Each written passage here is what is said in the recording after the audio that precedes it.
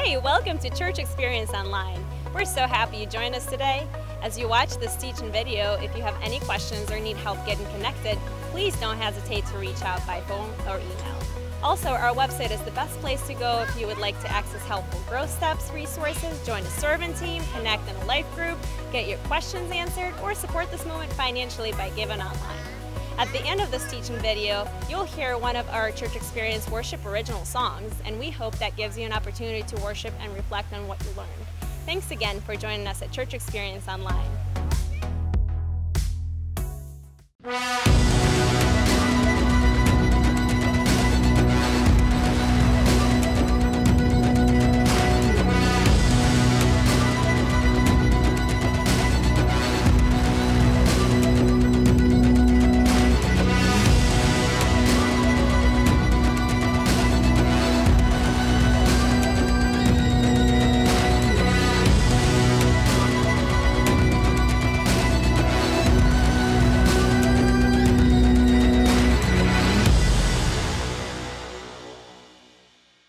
I, I, I almost didn't make it here today.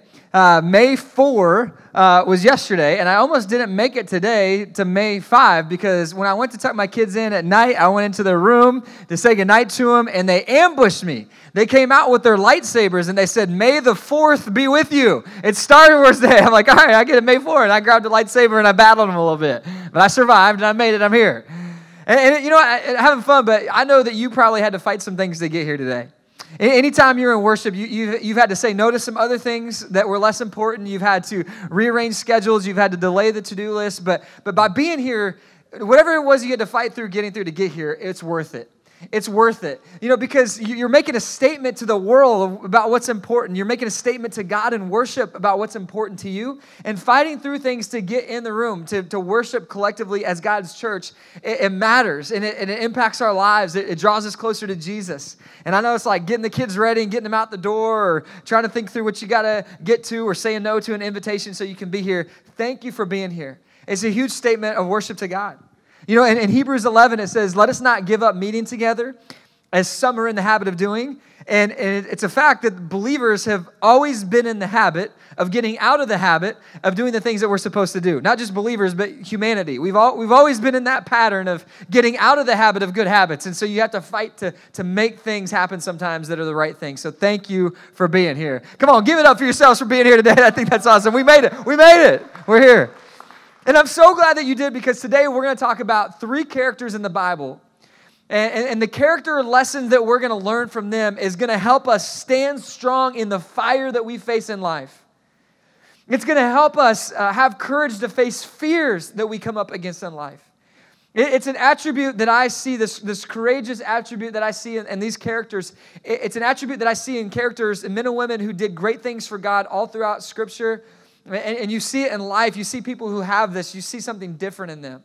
And so that's what I want for us today. Daniel chapter 3 is where we find the story of these three courageous guys. And maybe the story is familiar to you. Daniel chapter 3, verse 1. It's an incredible story. It says King Nebuchadnezzar made an image of, of gold, 60 cubits high and six cubits wide. He set it up on the plain of Dura in the province of Babylon. He then summoned the satraps, the prefects, the governors, the advisors, the treasurers, the judges, the magistrates, and all the other provincial officials to come to the dedication of the image he had set up.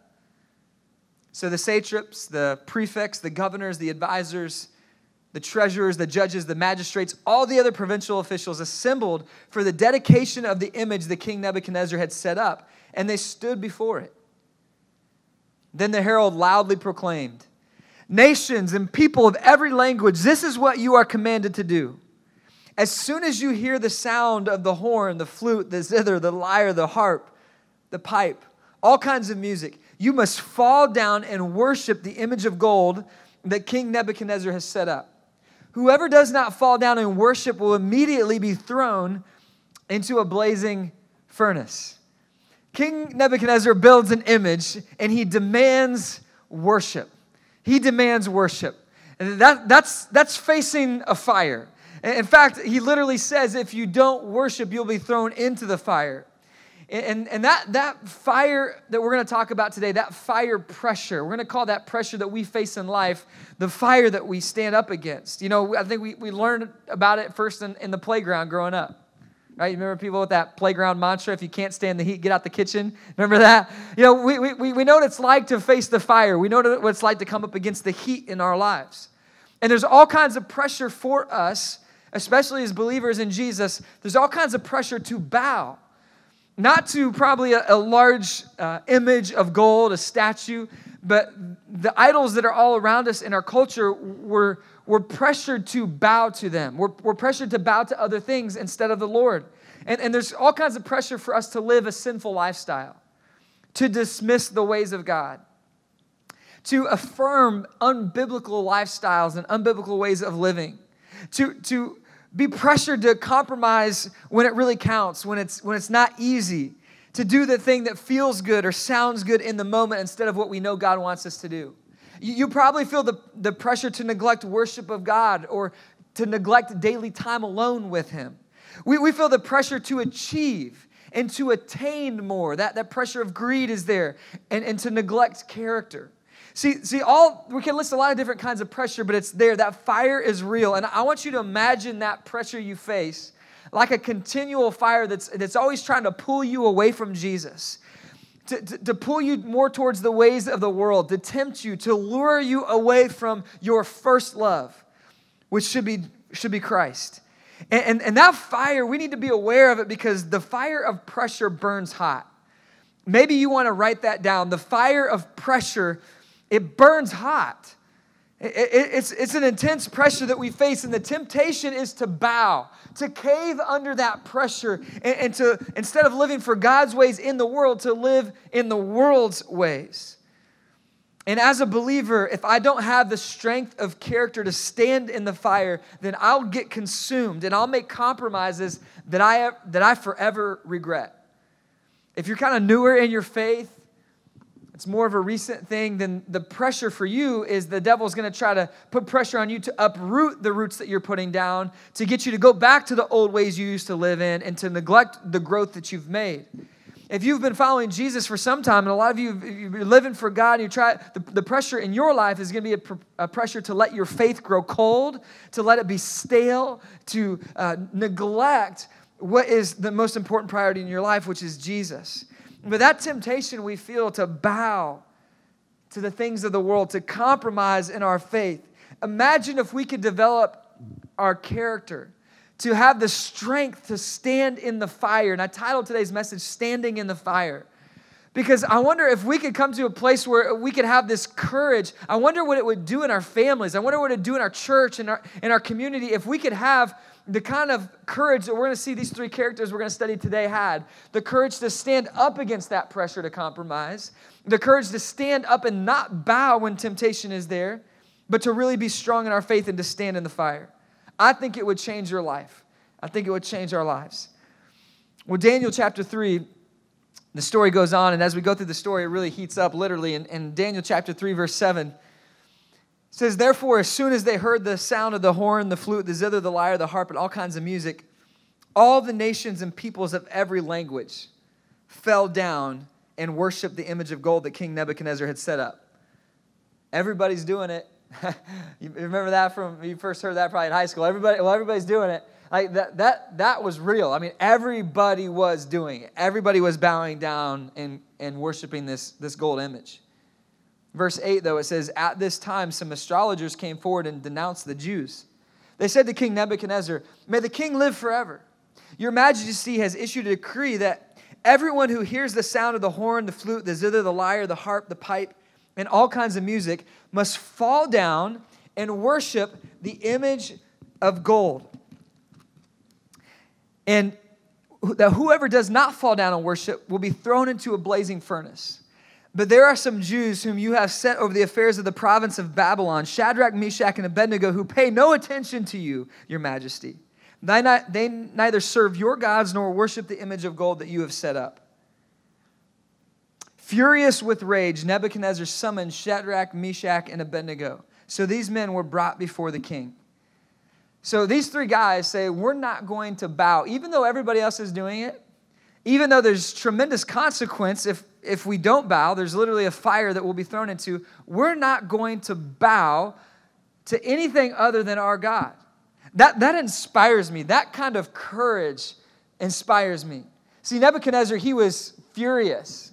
The, he, had a, he had a literal fire, but he also had fire in his eyes. He said, If you don't bow, and these three characters said, We refuse to bow to sin. We're not gonna, we're not gonna bow, we're only gonna bow to God. The fire pressure was real. Maybe you feel it in your life. In fact, maybe it'd be helpful to identify it. Where do you feel the most pressure right now in your life? The pressure to compromise what you believe? Where do you feel the pressure to pull back and settle in and chase comfort and success to attain instead of honor? Where do you feel the pressure right now? You know, you know our struggle is really a struggle of worship. It's a pressure of, uh, of who will we worship? Will we, will we worship God or will we worship self? Will we bow to the Lord or will we bow to ourselves? What, what, what is it that you're feeling the pressure to compromise in, in your character and in your faith? You, know, you, you might not ever stand before an idol and be tempted to bow to it, but you'll be tempted to worship other things all the time. And these three guys, they, they were probably facing tremendous temptation to bow. Think about it. All three of them had been promoted. So, all three of them had a reputation, they had success, they probably had affluence, they had wealth. Why? Because they, they were leaders in the land. And so, so everybody knew who they were. They had a great position. Man, when you get influence, when you get affluence, when you get success, when, when things start going your way, when it's good, be careful. When, when, when you make progress, when some of your prayers are answered, when you start, you start experiencing good in your life, be careful because that's when you may be most tempted to compromise. It's not usually when we're struggling eh, that the biggest test of our character comes. The biggest test in our character is in success. See, these guys had success. They have something to lose. And when you have something to lose, that's when the devil can come to you and, and, and get leverage on you. See, if you don't compromise here, then you can lose this. If you don't cheat here, take a shortcut here, you might not get there. Listen, listen be careful, be careful. When, when we studied church history going through school and they, they showed us the, the map of the nations and where the gospel, where the, the message of Christ has grown and expanded throughout history, it always invaded areas of poverty and, and struggle where people had no hope. And, and, and the gospel came and the light of Christ came into the darkness and, and lives were transformed and there was revival and, and lives were transformed and changed because they didn't have much to hold on to and they needed hope. And so they reached out to God. And they realized when they had nothing that they really did have something great and they had true riches and treasures in God. And that was really the most important thing in life. But, but what happens, you can see it even in our own country.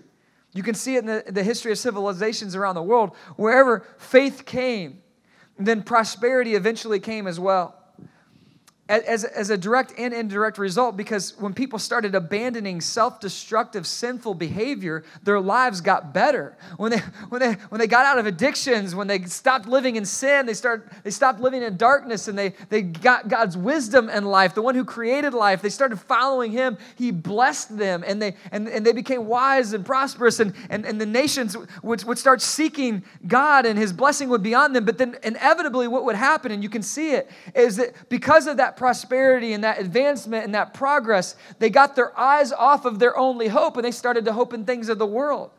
They started to hope in their, their earthly riches instead of realizing that their real riches are in, in Christ, they're in Jesus, and they're in heaven. And they started worshiping and making idols of the blessings instead of worshiping the blesser. And that's when things started to deteriorate and immorality would creep in and eventually it would destroy and undermine nations. And you can see, and then, and then the nations would grow cold. And we saw it in Europe and what happened in the church and was so strong and then it just faded. And, and you, can, you can just literally watch that, not only in human history, but you can watch it in your own life if you're not careful. The, that you can come to Jesus in a moment of desperation and God, I need you. But then when, when He comes and He answers your prayer and, and, and things go well for you, it's in those moments that you're tempted to get your eyes off of Him and onto the world. And these three guys, there must have been immense temptation to bow. Because if they would bow, they could keep their jobs. Do you ever have a boss put pressure on you to take a shortcut at work, do something against your character, and you know that if you don't, that promotion you've been hoping for, then increased income is probably not going to come? There's pressure in that. You're facing the fire. They can lose their job, they can lose their wealth. They could lose their very lives, but they said, We will not bow. I want that kind of character.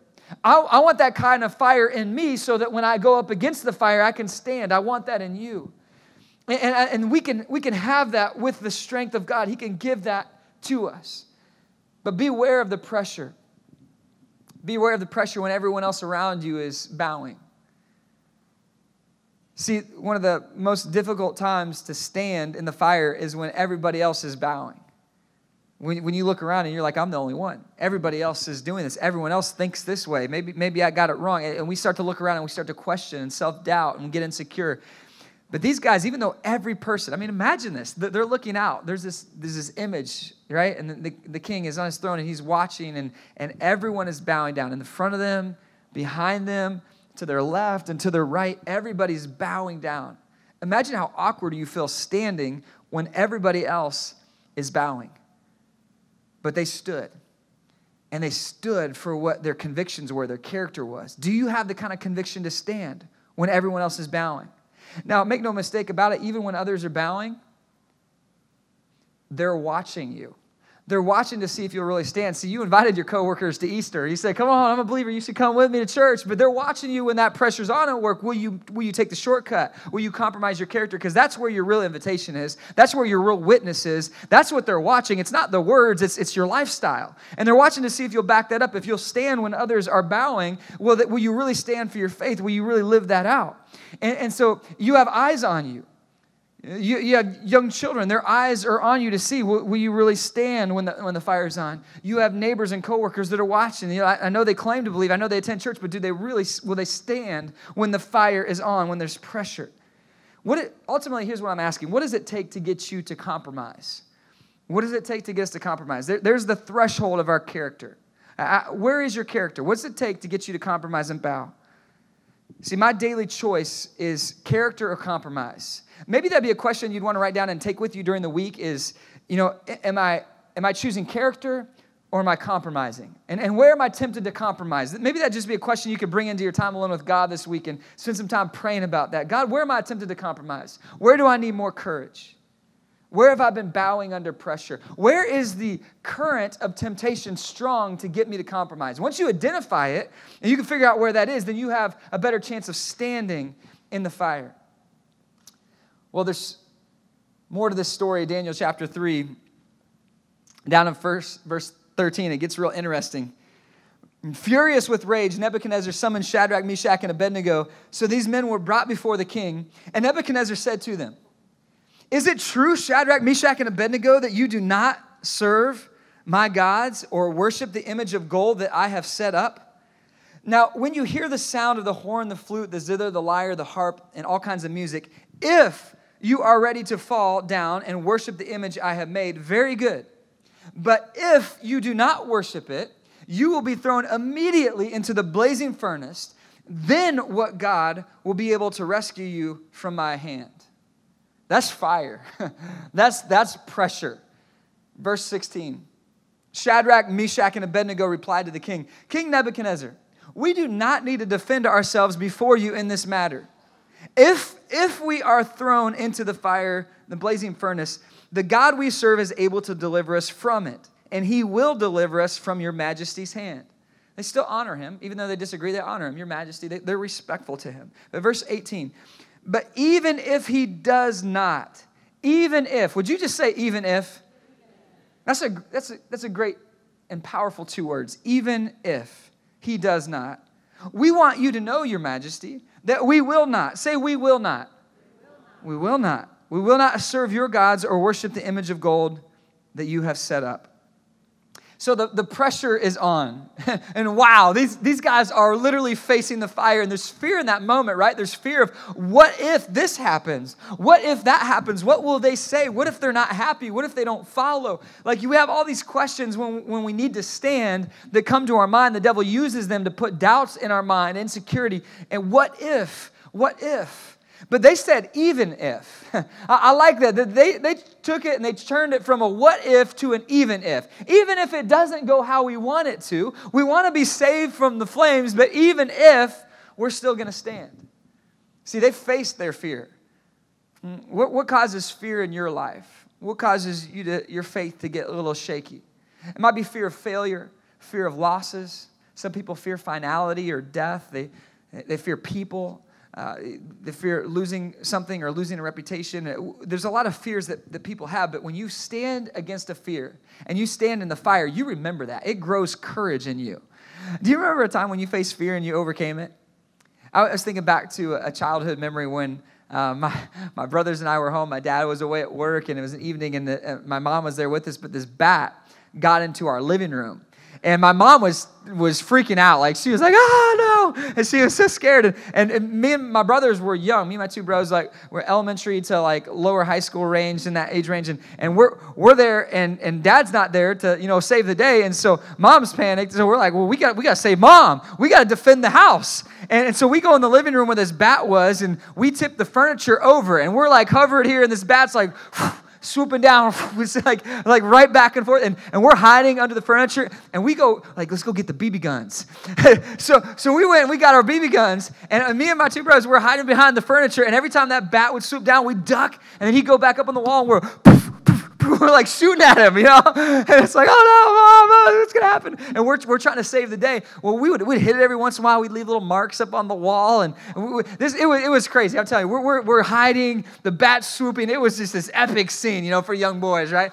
It, it, we couldn't get him with the BB guns. I think it was a tennis racket that finally took care of it, got him out of the house. We, we were young, everybody's, we were just, it was happening, you know? And, and but my mom, she was, she was, she was so grateful that the problem was solved. My dad, not so grateful of all the holes that needed to be repaired. The, the house was torn up when he got home. But we felt like heroes. You know, we saved mom. We, we, we saved the day. We, we felt good. We faced our fear and we overcame. You might remember, I'm having fun, but you might remember a real fear you had to face. You remember how it made your, your chest beat and your, your palms get sweaty and you just felt what it was like to stand in that moment.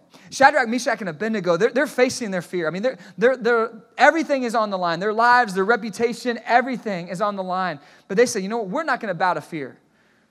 Uh, what if you could have the kind of character that when you face fear the next time, instead of having the regret that you might have as you look back on the past, the times you may have compromised, what if you said, you know what, I'm standing for the Lord. I'm standing for what I know is right. I'm, I'm, my word means something. My character means something. My integrity means something. I'm not going to compromise. I feel like doing this. This seems like something everybody else would approve of. I want to do this in my flesh, but no, I'm, I'm refusing to compromise. I'm going to stand strong in my faith.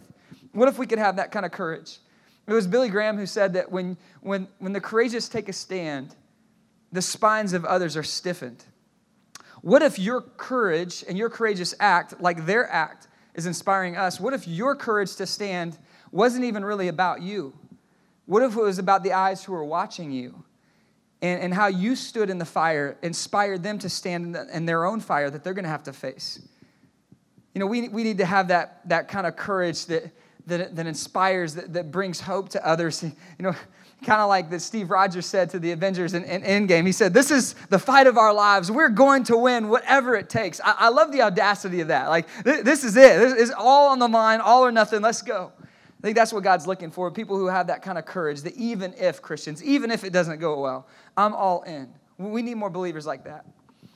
You know, I talked to my brother in law, Brent, Jennifer's younger bro, and I, I said, Hey man, tell me about ping pong because you're, you're a big ping pong player. I'm like, like what, tell me some stories. He's like, well, in college, one time we were playing ping pong and we, we, we got into this game called sting pong. And sting pong is when you score on somebody, and if you get the point, then they have to turn around, take their shirt off, and you get to smack the ball as hard as you can at their back, and it leaves welts. And so this is like their college game. He would tell me that they would play. I'm like, man, that doesn't sound, sting pong doesn't sound like my game.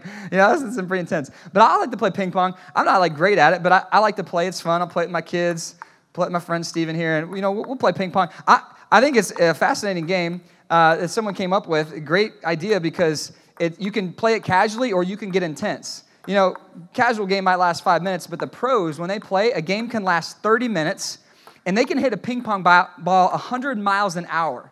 Literally, like they'll hit it 100 miles an hour.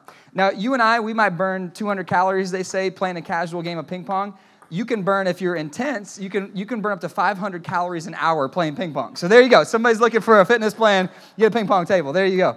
But you know ping pong is is interesting you know because there's it's a very simple game but it, it's difficult to do it for a long period of time. Um, but the guinness book of world records there was a father and son duo uh, daniel and peter ives and they played ping pong. They volleyed back and forth, check this out, for eight hours and 40 minutes. That's 32,000 consecutive hits without missing it one time. Guinness Book of World Records. You think we could do that, Stephen? I, I, I don't think so. it's, it's just an admirable goal. But, you know, when you're playing ping pong, it's all about you hit the ball, then they hit it. You hit it, then they hit it. And it's, it's back and forth. It takes two to play, it, it takes two to go back and forth. Unfortunately, some of us are trying to, in our character and, and how we make decisions, we're trying to play both sides of the table. What we're doing is we're saying, well, I, I think this is the right thing to do. And so we make our move, or we go to make our move, but then we run over to the other side of the table and we say, well, what if they do this? Well, maybe because they might react poorly to that, maybe I should change my move and do this. But then we run back over to the table again and we say, well, I think I should go right, but what if they all go left? And so we run back over here to the table and we say, well, I think this is what God would want me to do, but what if it doesn't make everybody happy? Or I think this is how I should parent my kids, but what if they don't like it? Or, you know, this is what I think I should do in my career, but what if it doesn't make me enough money? And so we're running back and forth. We're changing our convictions based on what we think other people will do. And we're saying, I think I should do this, but what if they do that? And, and you live right there in, in the world of insecurity. That's where a lot of people live. In fact, this can be a very controlling place to be. Some people live very control, controlling lives because they're always trying to manipulate and control other people's moves. And, and, and then they're not strong in conviction. They're not very solid because they're trying to figure out what everyone else does before they do it. And, and they want to stand for things, but then it's not popular, so then they adjust. You can see what I'm saying when you're trying to play both sides of the table. It, it, it doesn't work well. You don't have that strength of character. And, and what we see here in, in, in Scripture is that we're not called to control anyone else's moves. These three guys says, even if they do that, we're, we're going to do this. We're going to please God. We're not living for the approval of man. We're living for the approval of the Lord. Galatians chapter 1, verse 10. It says, Am I now trying to win the approval of human beings or of God? And then would you just read this question with me here on the screen? Or am I trying to please people? Would you read that with me? Or am I trying to please people? And read this last part real loud with me. If I were still trying to please people, I would not, say, I would not, I would not be a servant of Christ. So here it tells us if I'm trying to please people, then, then I'm not pleasing God because those two, they, they contradict each other. I, I can't say, God, I'll only bow to you, and then also come over here and bow to an idol. I, I had to pick one or the other. And, and so, are you, are, are you getting caught in the way of the world trying to please people? What will they think? What will they do? Are you making your moves to please God or to please others? That's what I'm trying to get at. And, and, and you will never stand in the fire if you're making your moves trying to please people, trying to please others. You will only have the courage and the strength to stand in the fire if you're making your moves to please God. And you say, God, even if even if they do this, I will not. I will not compromise. I will only bow to you. We, we desperately need more even if Christians. Even if it doesn't go well with me, I will not. We need some will not believers. I will not compromise my integrity. I will not lie and cheat and steal. That's my integrity. I will not do that. I will not get caught in this selfish, greedy culture. More, more, more, more. That I, I will not. We need some believers to say, I will not tolerate sexual immorality in my life. The Bible's real clear that, that our sexuality is to be within a marriage between a man and a woman as companions for life. That's the only place that He blesses that. And, and, and that's not popular, but, but man, I will not compromise that in my life. We need more believers to say, I will not miss, I, I will not miss time with God every day. That's so important. I will not miss worship. I will not let the devil win in my life, my family, my church, my city. I will not. See, we need, we need stronger convictions. I was talking to a, a good friend the other day, and we were talking about something, and I, I was bringing up something that I, I believe, I think, but I, I, just said it casually. I wasn't paying attention to my words, and I said, I feel like, and, and I said, I feel like, and he, he stopped me, as a good friend can do, and he said, Hey, what you mean is I think. That's the world's way, is I feel. And I was like, I, I received that rebuke. I, am with you. And, and, I, and I adjusted what I was saying. And, and what I've noticed is that, that, that even though that was just a, a turn of a phrase, that, that's slipped into our culture, hasn't it? Like people make decisions based on how I feel. God gave us feelings. The feelings are from Him. But when you make your convictions based on what you feel, like you'll never have the strength of character to stand in the fire. Because there's times where you don't feel like standing. I don't think Shadrach, Meshach, and Abednego felt like being the only ones. I don't think they felt like going through the fire and being thrown in the fire, but they knew what was right. Their convictions were not based on a feeling. When, when we base our decisions based on how I feel about it, how, I just kind of feel that this is the right thing. Based on my history, based on other people's opinions, based on what I think and see in the world, this is what I feel. We're elevating our opinion above God's word. And we're saying, well, I know God says this, but I feel this way. And that's a dangerous, very dangerous place to be. I still feel things. You're still going to feel things. God gave you emotions. It's very purposeful, and feelings are a very important part of our lives. But that's not primarily how we make our decisions. That's not where we base our convictions. Our convictions are based in truth, not in a feeling. And if it's based in a feeling, it's going to be wherever the wind leads me today and wherever it leads me tomorrow is where I'm going to fall. And a lot of people live that way, even believers live that way. And you want to have the strength of character. You want to have the, the character say, I'm standing on what's right. And the only authority that's strong enough to stand on is God's word. So here's my question for you. What, what if, what is my God pleasing even if that I will not be moved from? What is that for you? What, what, is my, what is my even if that I will not be moved from? Do you have that? Do you have conviction? Now, some of us are like nudging the person next to us and we're saying, I'm glad I came today. This is an easy day. I, I got this one. I, am the kind of person, I'm not gonna, I'm not bowing to culture. I'm not, I'm not flexible. I'm, I'm firm in my, my beliefs. And if that's you, I would just, just take a, just a quick little detour and just say to you, be careful if you're the kind of person who this message, you're like, oh, I got this. Because if you heard the phrase, don't die on every hill, have you heard that one? Don't die on every hill? See, uh, where that comes from is that there's some people who have really strong feelings who say, well, I, I, I, I believe this, and it's like an opinion. It's not, it's not, it's not a, a, a, absolute truth. It's like their opinion that they've added on, and, and they won't budge from that opinion, that preference. Like they're, they're inflexible. And what happens if you become, and, and, listen, a lot of leaders are this way. I've sat with a lot of them, learned from a lot of great leaders where they have strong uh, opinions. And if you're someone who has strong opinions, that's a good thing overall because that means you'll have a strength of character to stand when others won't. Shadrach, Meshach, and Abednego probably had that in them. Like, I, am not going to compromise. But for you, what you need to keep in mind is that if, if, you, if you stop listening to others, if you stop respecting others and honoring others, even those who disagree with you, then you'll come across as very judgmental and prideful and legalistic over every little detail. It's just very dangerous. And churches can slip into this. For example, we have strong convictions on what we believe the Bible teaches, but the mat at our door will always be a welcome mat. And so you can come in and belong before you believe. We're going to love on you, uh, and we're not going to treat you differently if you're living a certain lifestyle or you don't believe in God or you worship some other God that we would say is not a real God. We're, we're just going to love on you when you come through these doors, no matter what. When we started the church, we said, guys, don't try to sell anybody at this first barbecue in a little living room full of people. Don't try to sell anybody on our church at this barbecue. Let's just love people to Jesus. Let's just do that. Let's not try to convince them to be part of what we're doing. Let's share a story of what God has done in our life and just love people to Jesus. We found that to be an effective thing because, listen, if, if you get so opinionated on how everybody else started to control everybody else and, and, what you think they should do and live, then what happens is that, come, that turns people away.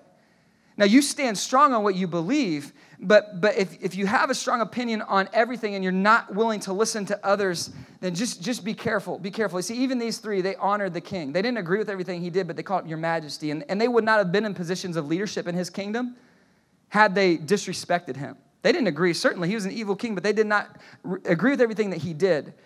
But they did not dishonor him. See, you can still, God still expects us to honor people that we disagree with. We still love them. Even loving your enemies, Jesus talks about. We love others, but we don't compromise our, our beliefs. It's just important to know if you have strong opinions, make your convictions that you'll die for God's absolutes, not your opinions. Okay? Just be, just be weary of that. In fact, even in our beliefs, there's layers of belief. We, we, put our, our core 15 or so beliefs, 20 beliefs, whatever they are, on online to say, and we teach them in our first class. These are these are the things that are you know written in blood. Like these are the things we die for. You know, Jesus, you know, life and death and resurrection and salvation is through, through, God's grace, through faith alone in Him. And we believe there's an eternal heaven and eternal hell. And, you know, the only way for forgiveness is through Christ alone. I mean, all the core convictions that 90% of churches hold on to and say, yeah, this is, this is the core of what the God, God's word says. Those things are written in blood. Then there's a lot of things that are written in pen. It's like we really believe this and we understand this, but but we can still worship together. You're from a Baptist background, you're from a Lutheran background, you're from a Catholic background. We can kind of still come together and worship, and, and there might be some differences in, you know, how does this work out theologically? And we can still have unity, even though there's some strongly held opinions. And then there's things in pencil that, that like we, we think this is right, but I mean, this is man's best understanding of what this means. We know Jesus is coming back, but how's he gonna come back? Like which way is he gonna come back and when? Like we don't know all those things, and so people get their opinions on that, and that's written in pencil. So you have layers of what you're willing to hold on to to die for, but, but you need to know what those are. Do you know? Do you know what your will nots are? What I will not be moved from? I'll give my life for that. These guys knew that, and so they went about a culture. Well, this story takes a crazy turn in verse 19. And Daniel chapter 3 says, Then Nebuchadnezzar was furious with Shadrach, Meshach, and Abednego, and his attitude toward them changed. He ordered the furnace heated seven times hotter than usual, and he commanded the strongest soldiers in his army to tie up Shadrach, Meshach, and Abednego and throw them into the blazing furnace. So these men, wearing their, their robes, their trousers, their turbans, their other clothes, they were bound and thrown into the blazing furnace. The king's command was so urgent and the furnace so hot that the flames of the fire killed the soldiers who took up Shadrach, Meshach, and Abednego. And these three men, firmly tied, fell into the blazing furnace. You know, this is not how we expect the story to go. On first read, we're thinking, well, these guys are standing up for God. God's going to stand up for them. They got this. No worries. They even said, well, God can, God can deliver us from you if, if He wants to do that.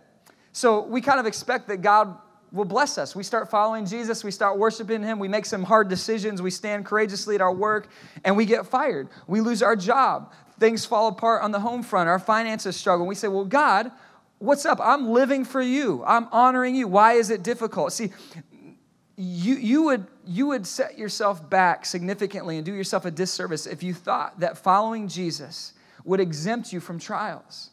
In fact, we're told to even count it joy when we go through trials because God is refining us, He's strengthening us. And, and when you go through trials, your convictions are not only displayed, but they're also strengthened. And sometimes God allows us, He doesn't create all the trials in our life, but He allows us to experience them so that we will stay close to Him and grow closer to Him. He, he refines us. And there's even been believers throughout church history who have been burned in the fire, literally burned at the stake. There's been believers, think about this, who've been sawed in two, who've been tortured who've lost everything home and family all for the sake that they would not compromise. They would not recant their beliefs. You say you, you, you can live. You can keep everything if you just say we disown jesus. And they said we will not.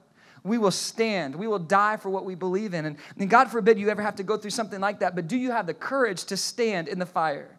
These guys had the courage to stand and they suffered loss even though they stood. They were thrown into the fire. See fear holds many believers back because they say, What if? What if this happened? And, and, and they don't want to let go. I don't want to lose. I don't want to lose all that I've attained in this world. So, so what if I, I stand for Jesus and he asks me to surrender more to him? Or, or what if I step up for Christ and I give more to him and then I, I experience loss? So that holds us back. But here's where the real wins happen. Here's where miracles can happen. When you stand courageously, you face the fire and, and, and you walk through the fire for him. They were literally thrown into the fire. And, and where do you find courage like that? It's in God's presence. That's probably one of the most important things I'm going to be able to say to, you today is, is if you want more courage, if you want this character in you, where do you find it? God's presence. God's presence. Where do you get it? God's presence. In prayer, in His Word, in worship. Where can you get that courage to stand? It's in God's presence. In God's presence, I find courage to face my fears. In God's presence, I find courage to overcome what I'm worried about. In God's presence, I find courage to defeat adversity and win my battles. In God's presence, I find courage to seize a big opportunity. My courage flows from God's presence. That's what you need to know. The last part of this story is just unbelievable. God shows up in a supernatural way. It's amazing. Daniel 3, verse 24. Then King Nebuchadnezzar leaped to his feet in amazement and he asked his advisors, weren't, three, weren't there three men that we tied up and threw into the fire? They replied, Certainly, Your Majesty. He said, Look, I see four men walking around in the fire, unbound and unharmed, and the fourth looks like a son of the gods. Nebuchadnezzar then approached the opening of the blazing furnace and he shouted, Shadrach, Meshach, and Abednego, servants of the Most High God, come out, come here. So Shadrach, Meshach, and Abednego came out of the fire, and the satraps, the prefects, the governors, the royal advisors crowded around him. They saw that the fire had not harmed their bodies. Check this out. Nor was a hair of their head singed. Their robes were not even scorched, and there was no smell of fire on them. Then Nebuchadnezzar said, Praise be to the God of Shadrach, Meshach, and Abednego, who has sent his angel and rescued his servants. They trusted in him and defied the king's command and were willing to give up their lives rather than serve or worship any God except their own God. They said, We will not bow down. And God bless that. See, you want to really experience the miracles that God wants to do in your life until you stand like that. See, when, when we back down and when we bow down and compromise, we never get to stand in the fire and see God show up. And He did show up. There was a fourth person in the fire, and there was the three of them, and then there was someone else there. See, God went with them into the fire. They were not alone. And some of you are thinking about stepping up more boldly, really living out your faith, letting go of some sin, holding on to Christ, first love, putting Him up higher in my life. But, but you're fearful, you're afraid. Well, what happens? Listen, until you take your stand, until you step out in faith, until you stand stand up in the fire, you don't get to see the miraculous provision of God. If you always play it safe, you never get to see God come through in a big way. If you live small, you don't get to see God do big things. So they, they stood up. They were willing to risk it all, to risk success, risk their reputation, risk it all to have the courage to stand. See, these three knew that if you're going to step into the fire, you don't step into the fire alone. God will see you through it. All you got to do is hold on to Him. I've loved surfing most of my life. I've surfed in like nine different states, and I got the honor of teaching Jennifer's uh, brother Brent how to surf when I was 19 and he was 15, 16. I helped get him out on his first surfboard and show him how to get out in the waves. And if I was teaching you to, to surf, uh, there's some things I would teach you. And uh, I, I was able to give Brent some, some initial lessons and you know, one of our first times going out, uh, we were 16. I, I, was when he was 16. I was, I was, saying, "Man, here's how you get out in the waves. Here's how you surf."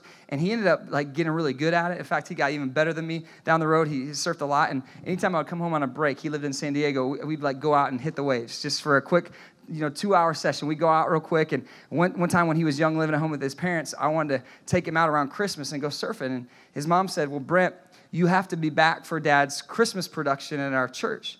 And, and he's like, I won't be late. I won't miss it, mom. We only had a little window to go surfing. He's like, I'll be there. He's like, all right, you can go, but only if you don't miss. So we knew we could not miss the Christmas production. So we, we drive out to La Jolla Beach, make the little 30 minute drive out there. We unload the boards. We get out in the water. We're surfing, having so much fun. Time's flying by.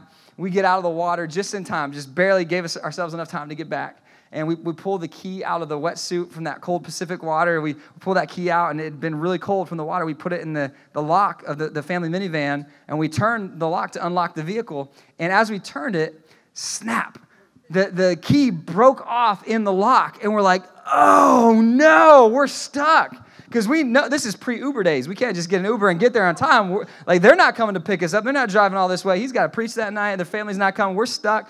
Like we don't have any other options. Like we don't know what to do. And and so we we finally get this little bit of the end of the key out of the lock, and we're like, well, we got two pieces. What if? We know that it's going to be a problem like getting it out of the ignition later, but what if we could get the pieces in the ignition and it would turn on? We're like, oh, that sounds risky, man. What if, what if it runs the car? What if we can't get out? We cannot miss the Christmas production. We got to get there. So we put that little piece in there and we shove it in with the, the little handle of the key and we turn it on and boom, it fires up. We're like, yes, we're good. Let's go. We made it. We made it to Christmas. It was good. Thank God we were able to get the key out later. But what, what, what a memory. And, and I remember so many times like that, adventures that were made surfing. But you know what? None of them would have happened. None of them would have happened. Rewind the tape if we want to learn one lesson when we were surfing. And that was that when you're going out into the lineup, if you're going to get past the waves that are coming at you, you have to learn to do something called duck diving. Now, duck diving is when you, you see a wave coming at you and, and you grab the front of the board and you push it down underneath the wave and you use your feet and your arms and you push the board down. This is the, one of the first things I would teach you I was teaching you to surf. You push the board down and that wave, when you feel it and hear it washing over you, you pull up on the front of the board and you come out the other side. a lot of people just on vacations, amateur surfers just trying to learn, they don't know this. And so what happens is they try to swim out past the wave, and this big five foot wave comes at them and just washes them right back to the shore. And they can never get out to where the, the best waves are. They're just constantly battling the waves. But if you watch someone who knows what they're doing, what they'll do is they'll duck dive. They'll push the board down, they'll hold on to it. When the wave starts going over their head, they use the momentum of the wave and they pull it up, and it shoots them out the other end. So instead of getting pulled back, they actually move forward when the wave is coming at them. You want to know how to not to get swept back all the time? And, and how to keep making gains in your life, how not to let the world just keep pushing you back and getting you to compromise. I'll tell you how to do it. When, when those waves come, when the fire comes, like it came for these guys, you hold on with everything you've got to the Lord. You get closer to Him. Don't let, don't let the world pull you away. You, you lean in, you grab hold of Him. And when you feel that wave, you feel the intensity of it washing over you, you hold on to Him with all you've got, and you find that what He does is He, he actually can build momentum in your life in the fire. He can build momentum when you go through the trials. He can give you strength you never knew was there. He can show up miraculously if He chooses to. And He can bring you out the other side, in their case, unharmed. Not a hair on their head was singed. See, He went with them in the fire, and you never stand alone in the fire. You need to know that. Maybe you want to write it down. You never stand alone in the fire.